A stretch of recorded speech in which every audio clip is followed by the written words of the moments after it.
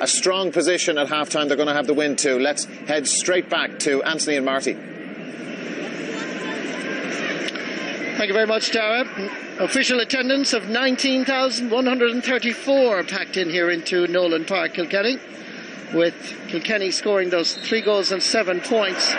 2 7 from play, and Diarmuid Kirwin got in the way.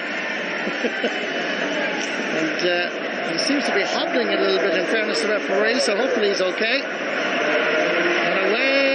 And goes TJ. Great save by the goalkeeper, Mark Fanning and that's gone out for a 65. But I can also tell you right now that the referee is hobbling, but as we look at the replay here, it was a chance. Good save by the Wexford keeper. Yeah, good good credit to Mark Fanning.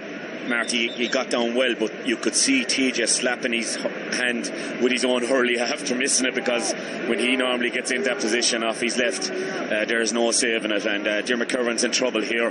Could we have Colm Lyons coming in? Uh, Mick Dempsey going out to have a look at him there. Is it Mick Dempsey? What happened here? You can see he just fell awkwardly.